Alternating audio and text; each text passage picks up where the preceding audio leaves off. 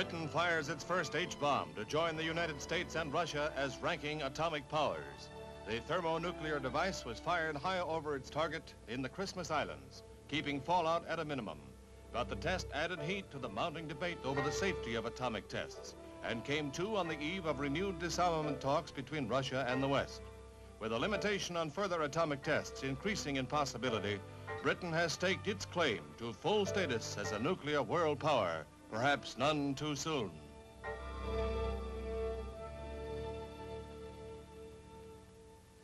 The world was shocked by one of the bloodiest episodes in Algeria's grim and bitter 31-month-old struggle between France and Muslim nationalists seeking independence.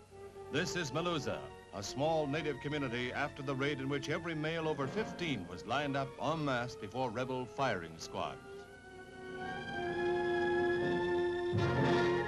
These few escaped the raid that signaled a new wave of terrorism in Algeria. Nationalist spokesmen answered denunciations with countercharges of French atrocities, and both sides called for the sympathy of the outside world, which saw ravaged Melouza as symbolic of the savage conflict in which Muslim slays Muslim without mercy in the cause of Arab nationalism.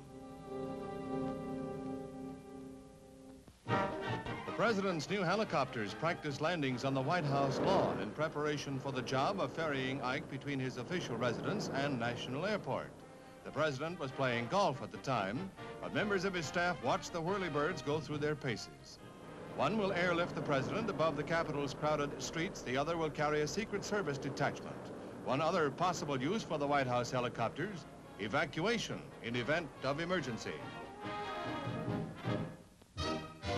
Israel reveals a two-sided Arab policy with a helping hand to its own Arab population, chiefly nomads who have settled down to farming, a painfully poor and hard existence in the harsh Negev desert. But a brighter future is promised by new harvesting combines provided under a government aid program.